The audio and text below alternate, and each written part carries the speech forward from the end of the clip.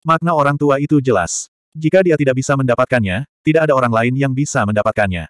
Dia 100% yakin bahwa dia bisa membunuh pemuda ini. Ini adalah kepercayaan dari Raja Dewa dan dia harus memilikinya. Lagi pula, jika Raja Dewa tidak bisa membunuh Dewa Perang, maka dia benar-benar tidak perlu hidup. Itu sebabnya dia tidak menempatkan kincuan di matanya sama sekali. Ini seharusnya tugas yang mudah, tapi sekarang, dia tertegun. Dia sebenarnya sedang dikendalikan. Dia dibatasi oleh Wargot. Dia tidak bisa bergerak dan hanya bisa menunggu kematian. Seberapa menakutkan ini? Dia kaget, kaget, dan ketakutan. Kincuan terkejut. Lagi pula, dia tidak menyangka bisa membatasi lawannya. Dia hanya ingin mengganggunya. Dia ingin menciptakan kesempatan bagi bayi naga. Dengan kekuatan Raja Dewa Bayi Naga, itu bahkan bisa melukai Raja Dewa tingkat yang lebih tinggi dan membunuh lawan ketika mereka tidak bisa bergerak. Tapi jika jaraknya terlalu besar, bahkan jika lawan tidak bisa bergerak, akan sulit untuk membunuh lawan. Salah satunya adalah penindasan wilayah seseorang, yang lainnya adalah penguatan harta, dan beberapa harta kehidupan. Banyak kemampuan yang dikaitkan dengan ranah seseorang. Semakin tinggi ranah seseorang, semakin kuat tubuh seseorang. Mereka yang lebih lemah dari diri sendiri bahkan tidak bisa melukai diri sendiri. Ketika jaraknya terlalu besar, angka tidak bisa mengimbanginya.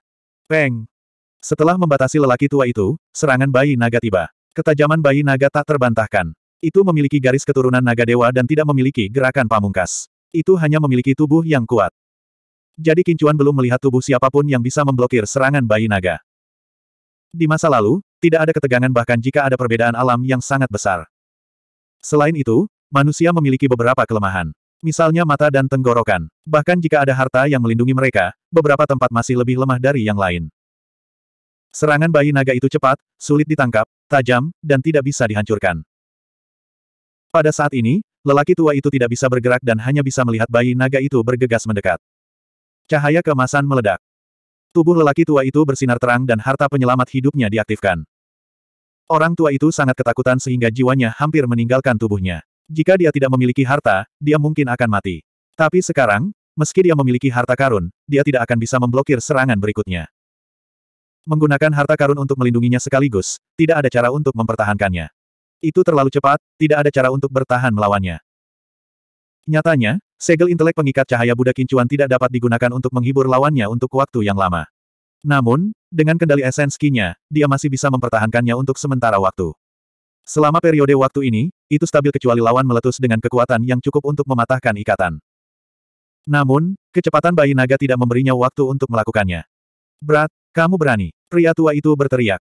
Namun, Kincuan tidak tergerak. Jika seseorang ingin membunuhnya, tidak perlu sopan. Dia hanya bisa membunuh mereka.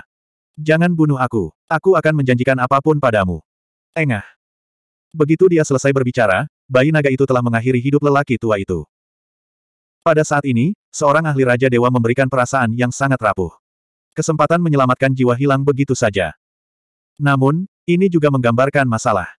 Setelah kemampuan mengendalikan seperti segel pengikat naga cahaya Buddha efektif, itu akan menjadi sangat kuat, dan lawan akan berada di bawah kekuasaannya.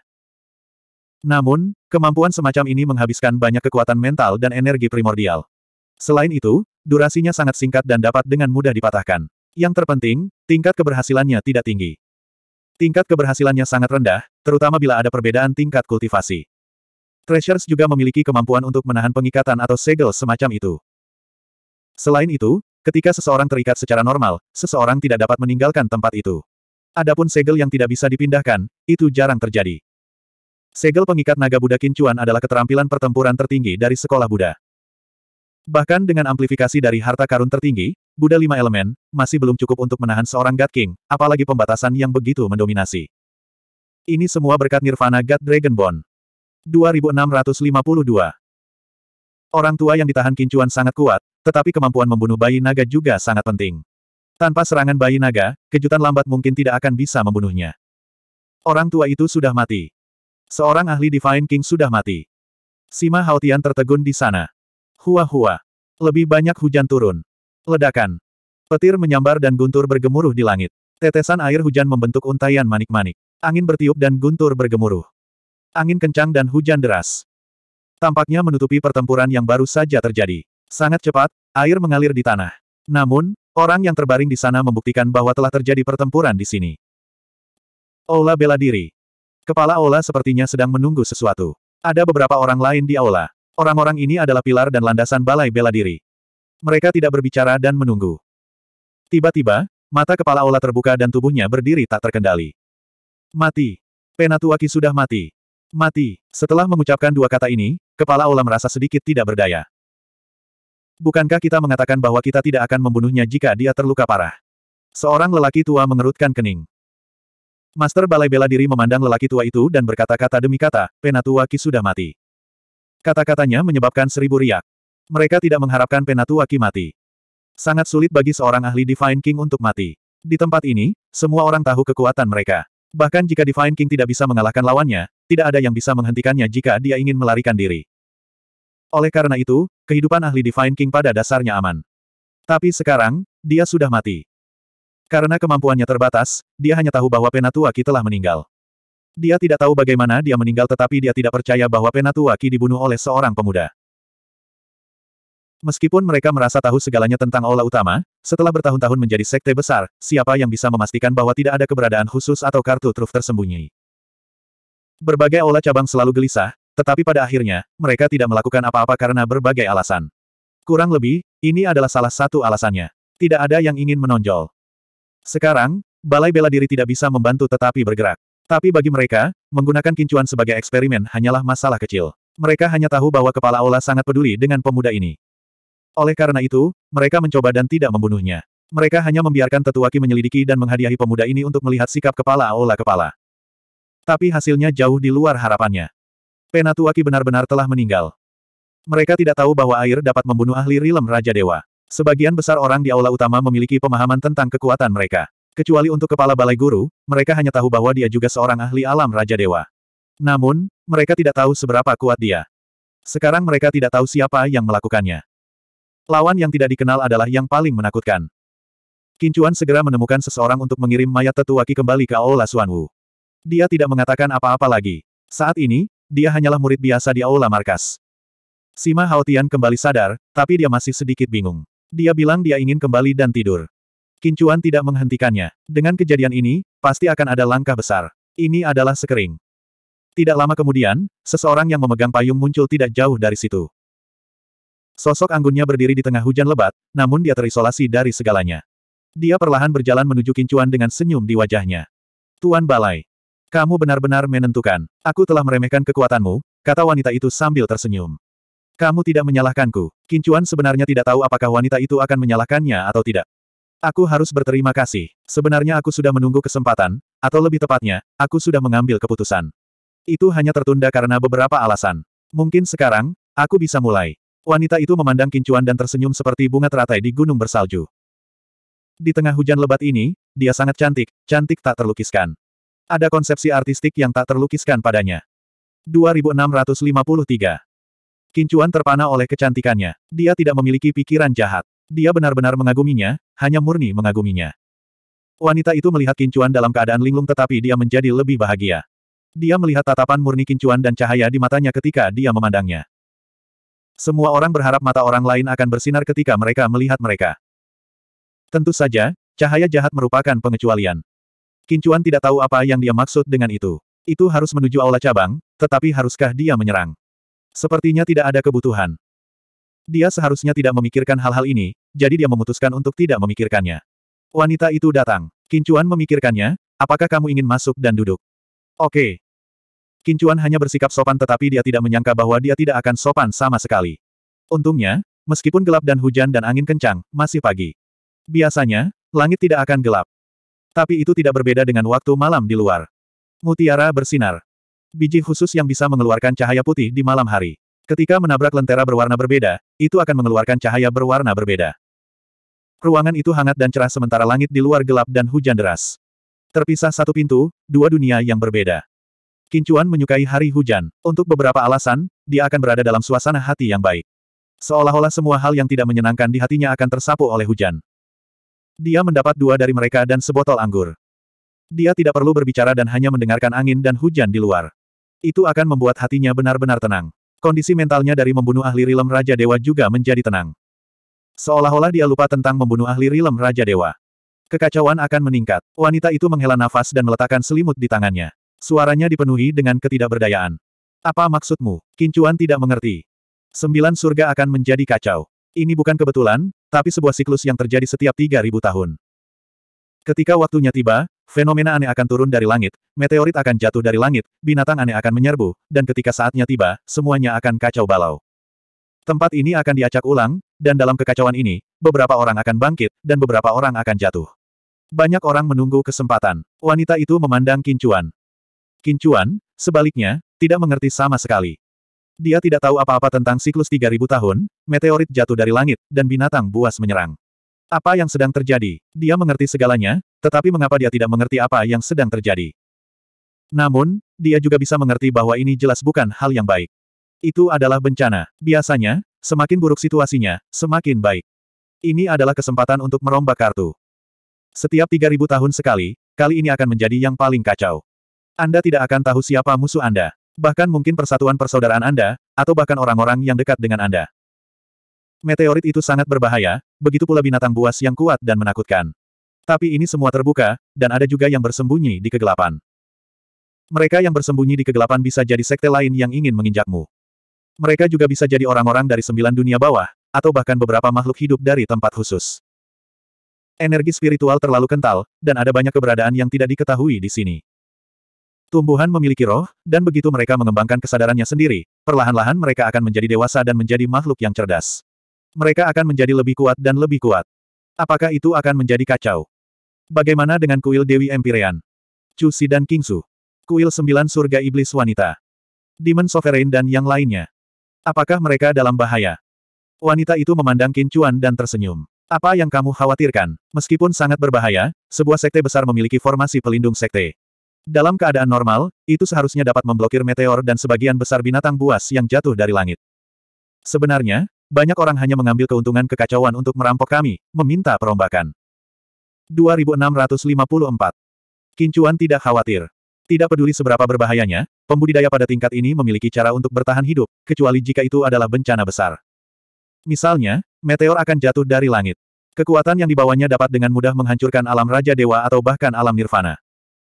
Tapi bencana semacam itu tidak bisa menutupi seluruh sembilan langit. Ditambah lagi, orang-orang seperti Kincuan memiliki harta khusus yang memungkinkannya meninggalkan sembilan langit dan alam dewa secara instan. Tidak sulit bagi pembudidaya untuk melindungi diri dari bencana alam. Misalnya, formasi yang kuat bisa melindungi sekte tersebut. Kalau tidak, sekte lama tidak akan jatuh selama kekacauan yang terjadi setiap 3000 tahun sekali. Ketika kekacauan datang, itu hanya akan memberi kesempatan bagi sebagian orang. Itu juga akan menempatkan beberapa orang dalam situasi putus asa. Ketika saat itu tiba, mereka bahkan tidak akan bisa mundur bahkan jika mereka mau. Apa yang kamu rencanakan? Kincuan bertanya dengan rasa ingin tahu. Kuil Dewa Perang Sembilan Surga telah dibagi untuk beberapa waktu sekarang. Jika ini terus berlanjut, saya tidak akan dapat mempertahankan kuil Dewa Perang. Saya akan memberi mereka tiga hari. Jika mereka tidak membuat pilihan, saya akan membuat pilihan untuk mereka, kata wanita itu sambil tersenyum. Seolah-olah dia bertanya apakah dia sudah makan.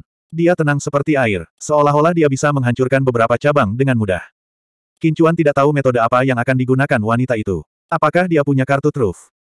Wanita itu melihat ekspresi Kincuan dan tahu apa yang dia pikirkan. Dia tersenyum dan berkata, saya masih sangat kuat. Saya dapat dengan mudah membunuh siapa pun di bawah alam nirvana. Mudah adalah kuncinya. Meskipun Kincuan telah membunuh Raja Dewa Alam sebelumnya, Kincuan tidak tahu berapa banyak. Tiga, lima atau tujuh. Tapi Kincuan tahu bahwa seharusnya tidak lebih dari tujuh. Itu harus antara lima dan enam. Tapi perbedaan antara tujuh dan enam sangat besar. Setelah tujuh, perbedaannya sangat besar. Semakin jauh pergi, semakin besar perbedaannya. Ada juga keberadaan yang menakutkan di alam Dewa Raja. Tapi wanita itu bisa dengan mudah membunuh mereka. Tidak masalah apakah itu adalah alam Dewa Raja atau alam Dewa Raja. Dia yakin bahwa dia dapat dengan mudah membunuh mereka. Saat kamu ingin bertarung, bawa aku bersamamu. Aku akan memegang pedang untukmu. Kincuan berpikir dan berkata. Dia serius. Wanita itu tersenyum dan mengangguk. Baiklah, kamu tidak bisa kembali pada kata-katamu. Keesokan harinya, istana utama memberi mereka pemberitahuan terakhir. Mereka memiliki waktu tiga hari untuk membuat keputusan sendiri dan memikirkan konsekuensinya dengan hati-hati.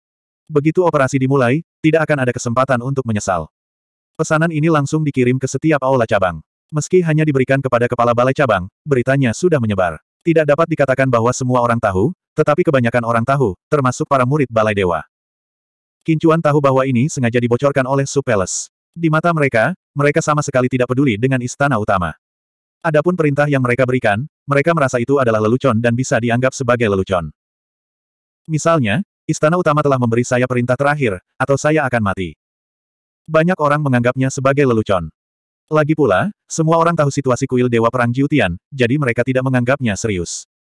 Ini adalah sikap massa. Jika mereka tidak peduli, maka perlahan-lahan mereka akan berhenti peduli dan tidak menganggapnya serius.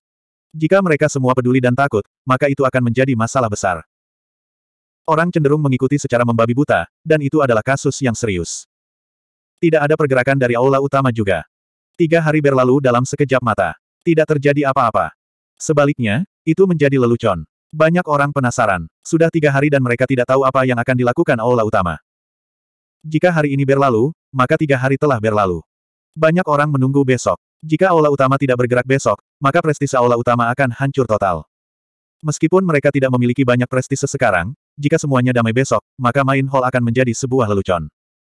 2655 Banyak orang ditakdirkan untuk kehilangan tidur malam itu.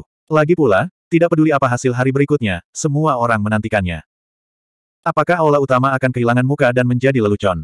Mereka bahkan mungkin berganti pemilik besok. Atau akankah aula utama melakukan pembunuhan besar-besaran dan memusnahkan orang-orang dari aula cabang? Tidak peduli yang mana itu, semua orang menantikannya. Tentu saja, semua orang menantikan yang terakhir.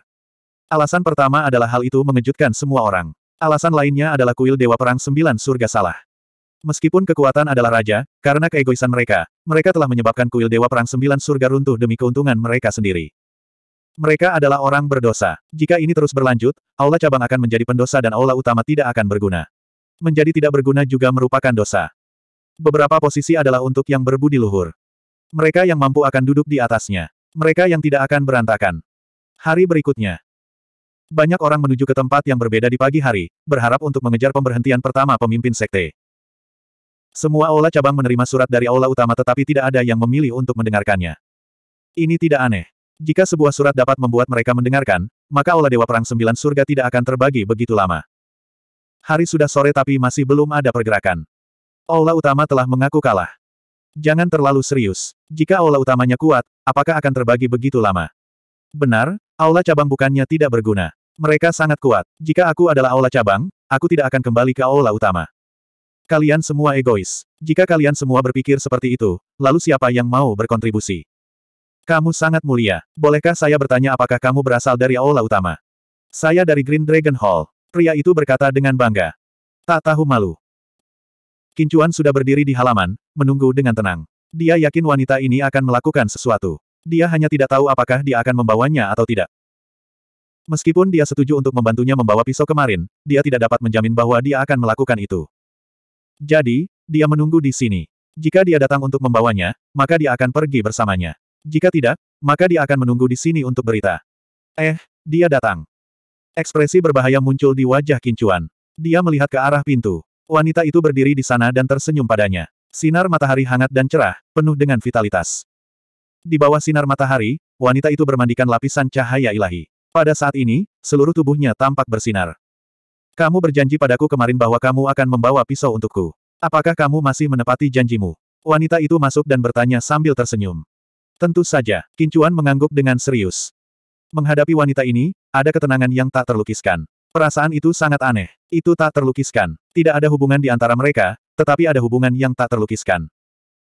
Tidak perlu terlalu memikirkan perasaan ini. Rasanya enak. Mereka berdua pergi dan langsung menuju istana kura-kura hitam. Tindakan ini secara alami dilihat oleh orang lain, dan beritanya menyebar dengan cepat. Banyak orang bergegas menuju Black Tortoise Hall karena ketua sekte yang cantik hanya membawa seorang pemuda bersamanya. Orang-orang dari kuil Dewa Perang Sembilan Surga semua tahu bahwa Master Sekte sangat cantik, tetapi wanita seperti dia berada di luar jangkauan mereka. Apalagi posisinya sangat istimewa. Bahkan jika beberapa orang ingin berpihak padanya, mereka hanya akan membuang nyawa mereka. Jika mereka pergi ke sana, mereka akan menjadi musuh dari berbagai kuil cabang. Master Balai Cabang tidak berani bergerak melawan Master Sekte karena takut dikutuk. Namun, masih mungkin bagi mereka untuk bergerak melawan murid biasa dari aula utama. Karena alasan inilah hanya ada beberapa lusin orang di aula utama. Tahun-tahun ini, kuil-kuil cabang telah melakukan banyak hal. Wanita itu tidak melakukan apa pun. Jika dia membuat pilihan, dia akan mengambil risiko. Tentu saja, akan ada juga manfaatnya. Mereka tiba di Black Tortoise Hall. Mengetahui wanita itu akan datang, banyak orang dari Black Tortoise Hall sudah keluar. Mereka berdiri di depan gerbang, seolah-olah mereka sedang menunggu wanita dan kincuan. 2656. Ketika Kincuan dan wanita itu tiba di aula bela diri, mereka melihat banyak orang di sana. Banyak orang dari aula lain juga ada di sana. Keributan seperti itu tidak umum dan mereka tidak bisa melewatkannya. Master aula cabang sudah ada di sana dengan senyum di wajahnya. Ketika dia melihat wanita itu dan Kincuan, dia berdiri sambil tersenyum, Hall Master, bolehkah saya tahu mengapa Anda ada di sini? Wanita itu tidak mengatakan apa-apa. Dia perlahan mengangkat tangannya dan cuaca berubah. Angin melolong. Hembusan angin mendatangkan malapetaka, langsung mengubah cuaca menjadi musim dingin. Langit gelap dan matahari dan bulan redup. Sangat kuat. Kincuan berdiri di samping wanita itu dan bisa merasakan perubahan auranya. Kontrolnya atas energi langit dan bumi terlalu kuat. Apakah ini kemampuan Raja Dewa? Atau apakah itu melampaui alam Raja Dewa? Ming. Di tengah angin yang menderu-deru, tangan ramping seputih salju perlahan muncul. Itu terlihat sangat indah, tetapi juga memancarkan aura yang menakutkan. Cakar ilahi yang tajam dari burung phoenix terbentuk di sekitar telapak tangan seputih salju. Telapak tangan menghilang. Cakar Dewa Phoenix raksasa terbentuk. Itu tidak terlalu besar tetapi membawa aura yang bisa menghancurkan langit dan bumi. Itu bersinar dengan cahaya lima warna saat meraih ke arah Martial Hall Master. Noi. Pu pu pu.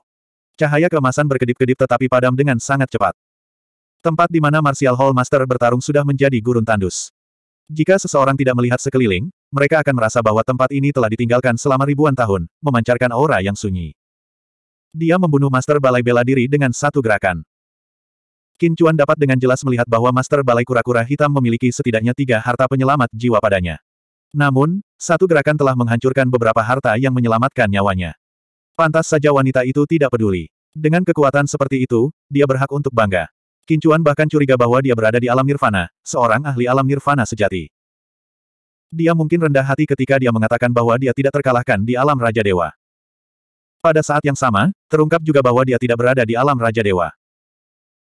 Seniman bela diri normal, selama mereka berada di alam Raja Dewa, mereka tidak akan mengatakan bahwa mereka tak terkalahkan di alam Raja Dewa. Mereka tidak berani mengatakan bahwa selalu ada seseorang yang lebih baik di dunia ini. Sama seperti Kincuan, Kincuan juga ingin mengatakan bahwa dia tak terkalahkan dalam War God Realm. Sebenarnya, Bahkan jika dia mengatakannya, itu mungkin tidak benar, bahkan jika binatang jinaknya berada di alam Raja Dewa. Meski begitu, belum tentu dia tak terkalahkan di alam Dewa Perang. Jika Anda memiliki harta karun dan binatang jinak Anda sudah berada di tahap Raja Dewa ketika pemiliknya berada di tahap Dewa Perang, tidak ada jaminan bahwa orang lain akan berada dalam situasi yang sama, atau bahkan lebih kuat. Kincuan tidak menyangka wanita itu berani mengucapkan kata-kata seperti itu. Karena dia berani mengatakan kata-kata seperti itu, dia pasti memiliki kepercayaan diri yang mutlak. Dia bahkan mungkin memiliki pemahaman yang lebih baik tentang beberapa aturan langit dan bumi.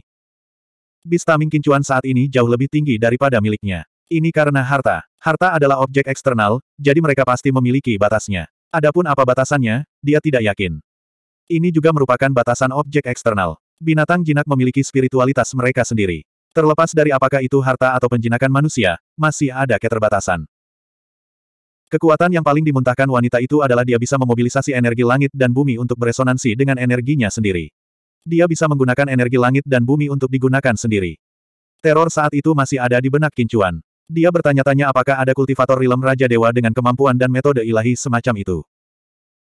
Atau hanya kultivator Nirvana Rilem yang dapat memobilisasi begitu banyak energi langit dan bumi. Terobosan berturut-turut, penghancuran, ini benar-benar penghancuran, tidak ada ketegangan. Pertempuran telah berakhir. Banyak orang benar-benar linglung. Apa yang terjadi? Di mana Tuan Black Tortoise Hall? Di mana dia? Bahkan ada banyak orang yang bertanya. Namun, beberapa orang sudah pergi diam-diam.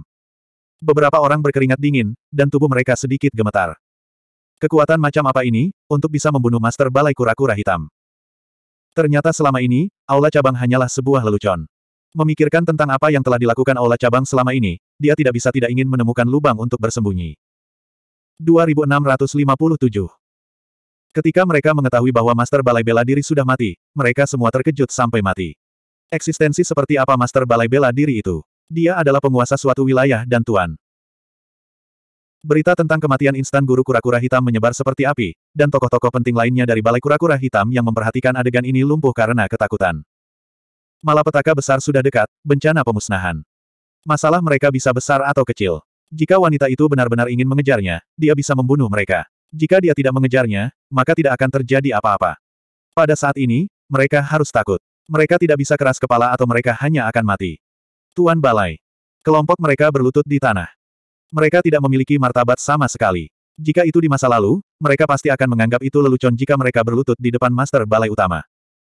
Tapi sekarang, mereka berlutut tanpa ragu-ragu. Mereka berlutut dengan hati nurani yang bersih dan bersedia melakukannya. Ini adalah kekuatan seorang ahli. Berlutut. Laporkan ke aula utama dalam tiga hari. Wanita itu berkata perlahan. Terima kasih, Master Sekte. Terima kasih, Master Sekte. Semua orang berteriak berterima kasih. Mereka menghela napas lega dan merasa nyaman. Untuk berlutut selama tiga hari, itu bukan masalah besar bagi mereka. Master Azure Dragon Hall bermandikan keringat dingin. Master Balai Bela Diri sudah mati. Tempat terdekat dengan Profound Martial Hall adalah Azure Dragon Hall. Jika tidak ada kejutan, tempat kedua yang akan dikunjungi wanita itu adalah Azure Dragon Hall. Selain itu, sebagai pemimpin, dia akan berakhir sama dengan Master Balai Bela Diri. Yang lain akan memiliki kesempatan sebagai gantinya. Lagi pula, yang lain hanya akan berlutut selama tiga hari. Hall Master memperlakukan semua orang dengan setara. Oleh karena itu, yang lainnya juga akan berlutut selama tiga hari. Tentu saja, mereka bisa menolak, tapi tidak ada yang tahu apa yang akan terjadi jika mereka menolak. Master Azure Dragon Hall berada dalam dilema. Dia ingin lari, tetapi dia takut dia tidak akan bisa. Jika dia memilih untuk lari, dia pasti akan mati. Jika dia mengaku kalah sekarang, dia tidak tahu apakah dia bisa mempertahankan hidupnya. Inilah yang dikonflikkan oleh Master Azure Dragon Hall. Dia tidak tahu apakah wanita itu akan membiarkannya pergi, atau apakah dia akan mengampuni nyawanya. Kekuatannya tidak sekuat Master Martial Hall, tetapi wanita itu mampu menghancurkan baju besi pelindung Master Martial Hall dan harta yang menyelamatkan jiwa dalam satu gerakan. Menghadapi lawan seperti itu, Master Azure Dragon Hall tidak memiliki pemikiran untuk melawan. Itu seperti belalang yang mencoba menghentikan kereta, tidak ada peluang untuk menang. Mungkin masih ada secercah harapan jika dia kabur, tapi jika dia tidak kabur, dia hanya bisa menyerahkan nasibnya di tangan orang lain. Mungkin masih ada secercah harapan. Keduanya memiliki secercah harapan, tetapi keduanya memiliki harapan yang berbeda. Harapan untuk melarikan diri ada di tangan mereka sendiri, harapan tipis. Jika dia tidak melarikan diri, dia akan menaruh harapannya di tangan orang lain. Dia akan seperti ikan di atas balok pemotong, dan hidup atau matinya akan ditentukan oleh orang lain. Anda tidak bisa menaruh harapan Anda di tangan orang lain. Master Azure Dragon Hall mengertakkan gigi dan langsung menghilang. Sayangnya, sebelum Master Azure Dragon Hall dapat meninggalkan kuil Dewa Perang Sembilan Surga, dia diblokir oleh kekuatan tak terlihat. Tidak bisa keluar. Pada saat ini, Master Azure Dragon Hall sedang panik dan menyesal. Harapan terakhirnya hilang. Sekarang, bahkan jika dia berlutut seperti orang-orang itu, itu akan sia-sia. Dia adalah seorang God King, tetapi seorang ahli seperti dia, eksistensi tertinggi, tidak dapat mengendalikan hidupnya sendiri saat ini. Dia sangat lemah sehingga dia bahkan tidak bisa menahan satu pukulan pun. Bang! Sepertinya sesuatu telah terjadi, tetapi sepertinya juga tidak terjadi apa-apa. Ayo pergi. Kita tidak akan pergi ke istana naga Asure. Ayo pergi ke istana harimau putih. Kata wanita itu sambil tersenyum. Kincuan mengangguk. Dia sekarang adalah seorang pria dengan pisau. Dia akan pergi ke mana pun wanita itu ingin dia pergi. 2658. Setengah hari. Dalam setengah hari, cabang kuil Dewa Perang Jiutian semuanya berlutut di tanah. Dari sembilan pemimpin cabang, empat tewas dan hanya lima yang tersisa. Dalam setengah hari, kuil Dewa Perang Jiutian selesai bergabung. Itu menjadi kuil Dewa Perang Jiutian lagi. Kemudian, ada janji temu yang tak terduga. Kincuan menjadi wakil pemimpin kuil Dewa Perang Jiutian. Kincuan sedikit terkejut. Dia sebenarnya telah menjadi wakil pemimpin kuil Dewa Perang Jiutian. Dia menatap wanita itu tanpa daya, apakah itu terlalu gegabah? Tidak, sebenarnya aku ingin memberikan posisi itu padamu. Wanita itu tersenyum pada Kincuan. Tidak, tidak, aku pasti akan menjadi wakil pemimpin. Kincuan dengan cepat mengungkapkan pendiriannya. Wanita itu tidak bisa menahan senyum saat melihat Kincuan seperti ini. Dia sangat bahagia, seperti angin musim semi, sangat alami. Beberapa orang mengatakan bahwa pemandangan terindah adalah senyummu.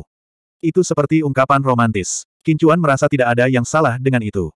Kincuan melamun lagi. Wanita itu melihat bahwa Kincuan sedang menatapnya dengan obsesif. Dia sedikit malu, tapi dia tidak tahu kenapa, tapi dia sedikit senang.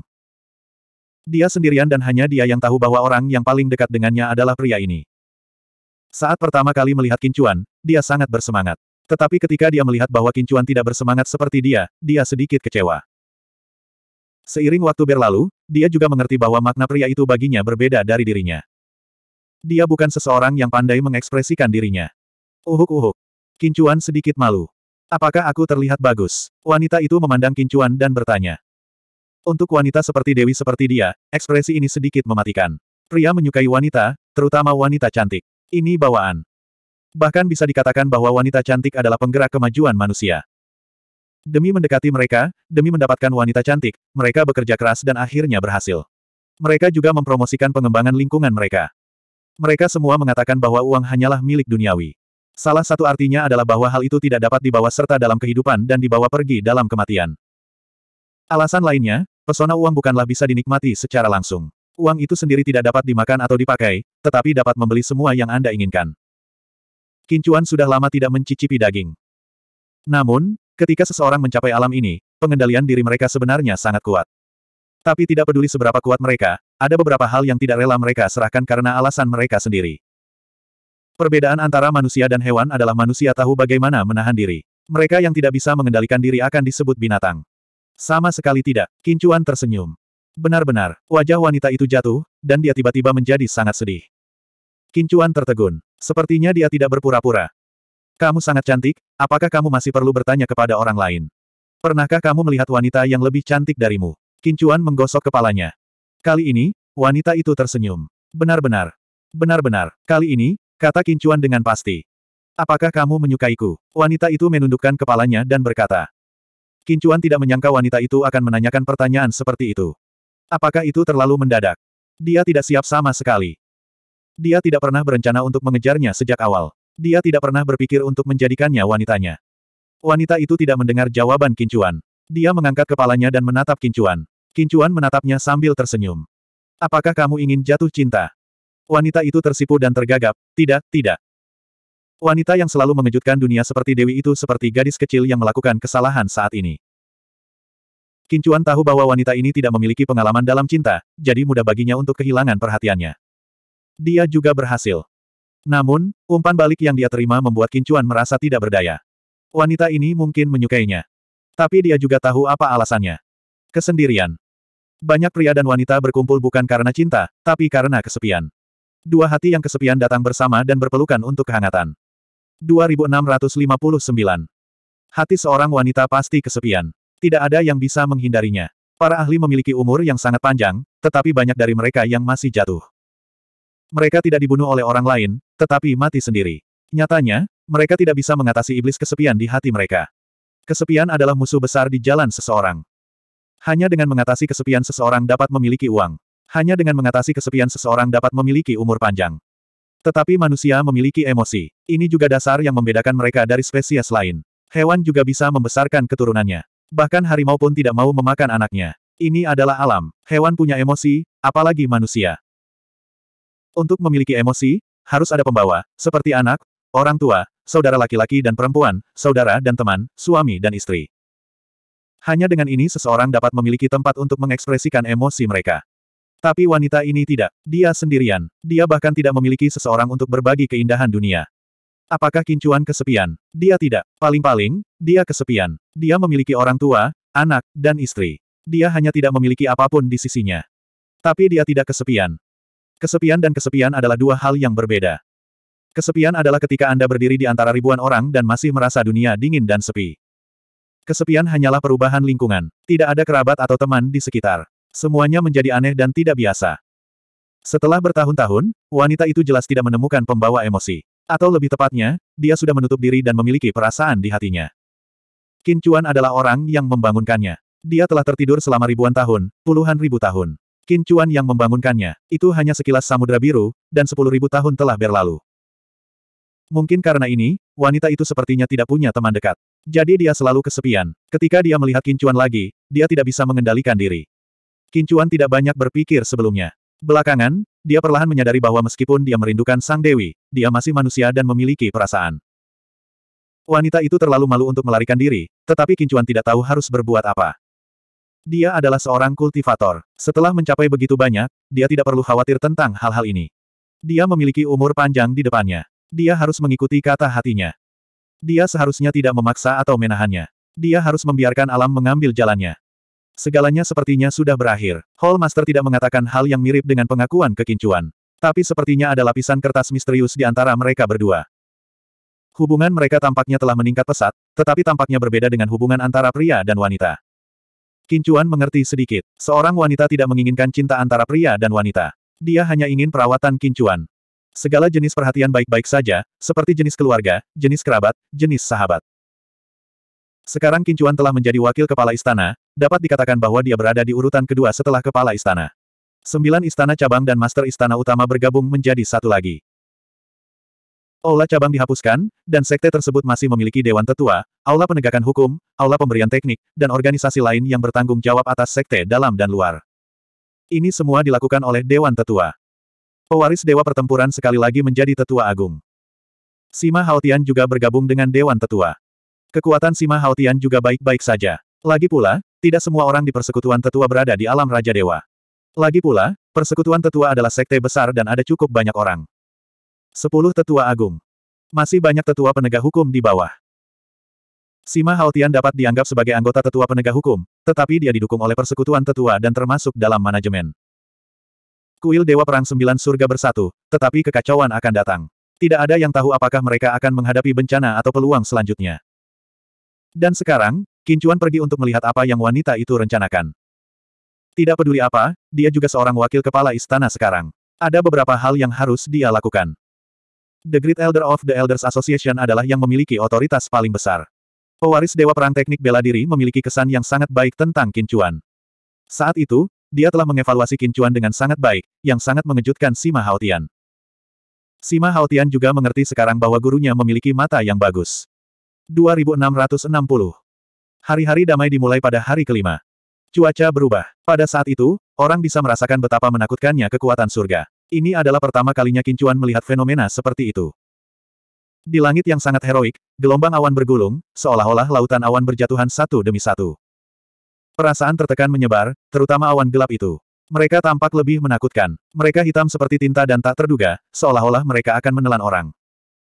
Fenomena ini berlangsung sehari sebelum guntur pertama terdengar. Itu seperti banjir yang menghancurkan bendungan. Tiba-tiba, guntur meraung di langit dan ular petir turun dari langit. Hong Hong. Tanah berguncang. Barisan pegunungan besar diratakan dengan tanah, dan banyak lubang tak berdasar diukir di tanah. Ikan di langit seperti sungai. Air hujan mengalir ke dalam lubang dan danau raksasa terbentuk. Ketika semuanya terhubung, itu menjadi lautan luas. Kekuatan alam terlalu menakutkan. Petir menjadi lebih besar dan lebih besar. Awalnya, itu seperti ular dan kemudian ular piton. Itu bahkan tampak seperti naga petir. Itu mendatangkan malapetaka dan raungannya mengguncang langit. Semua sekte besar mengaktifkan formasi mereka dan menutup pintu mereka. Pada saat ini, bahkan ahli rilem Raja Dewa akan diiris berkeping-keping jika mereka keluar. Tiga hari lagi berlalu, dan kilat di luar tampaknya telah berkurang banyak. Lautan awan di langit juga telah tersebar lebih dari setengahnya. Tapi angin mulai bertiup. Tidaklah berlebihan untuk mengatakan bahwa angin meniup pasir dan batu. Angin itu seperti jeritan roh jahat. Pada awalnya, terasa seperti angin kencang. Kemudian, batu-batu sebesar rumah diledakkan dan keadaan tampak semakin parah. Angin menderu dan guntur bergemuruh. Apa pun di luar jangkauan ini adalah bencana. Semakin besar itu, semakin menakutkan itu. Petir dan guntur tidak berhenti. Angin dan hujan juga tidak berhenti. Dalam cuaca buruk seperti itu, meteorit jatuh dari langit. Ini adalah bencana dari langit. Perombakan yang terjadi setiap 3000 tahun. Berapa banyak nyawa yang akan dihancurkan oleh bencana ini? Ini adalah pertama kalinya Wang Bang melihat pemandangan seperti itu. Kekuatan alam bukanlah sesuatu yang bisa dilawan manusia.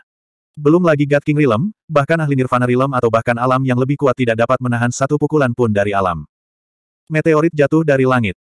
Ini adalah hal yang paling menakutkan, energi api. Angin, awan, guntur, kilat, air, api, bumi. Ini menunjukkan kekuatan sekte besar. Tanpa perlindungan sekte besar, banyak orang akan mati di sini. Namun, dengan perlindungan sekte besar atau sekte super besar, peluang bertahan hidup akan jauh lebih tinggi. Hal-hal ini sangat menakutkan, tetapi yang paling menakutkan tetaplah orang-orangnya. Di lingkungan yang begitu menakutkan, selalu ada banyak orang yang ingin mengocok kartu.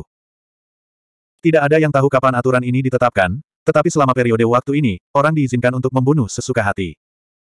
Mereka yang tidak mau membawa dao dan hati nurani mereka tidak akan membawanya. Mereka bisa berjuang untuk semua yang mereka inginkan. Aturan inilah yang membuka belenggu di tubuh manusia. Faktanya, aturan semacam ini bahkan bisa muncul di dalam sebuah sekte. Namun, kecuali ada yang gila, mereka jarang melakukannya. Terkadang seperti ini, jika Anda tidak membunuh, Anda akan dibunuh. Pada akhirnya, banyak orang akan terlibat dalam pertempuran ini. Ini adalah pertempuran reshuffle. Apakah seseorang bisa berjuang untuk lebih banyak atau mempertahankan wilayahnya sendiri bergantung pada kekuatannya? Terkadang seperti ini, jika Anda tidak membunuh, Anda akan dibunuh. Pada akhirnya, banyak orang akan terlibat dalam pertempuran ini. Ini adalah pertempuran reshuffle. Apakah seseorang bisa berjuang untuk lebih banyak atau mempertahankan wilayahnya sendiri bergantung pada kekuatannya.